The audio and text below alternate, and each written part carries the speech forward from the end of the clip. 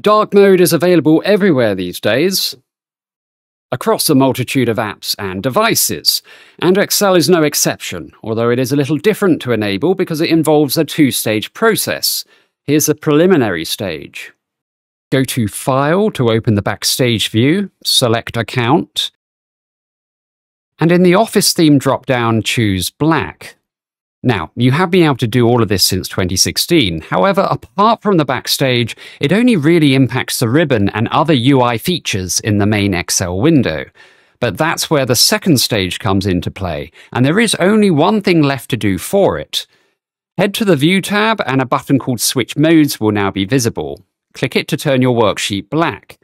And do the same to do the opposite. You can toggle it on and off as much as you wish. You'll notice certain fill and font colours appear differently in dark mode, which can cause a little confusion. White becomes off black, black becomes off white, yellow becomes murky green, and dark blue becomes pale blue. Not everything is affected by dark mode either. For example, charts, dialog boxes.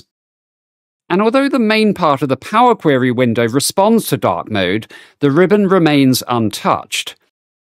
It'll be interesting to see if these change over time. But anyway, are you a dark mode person?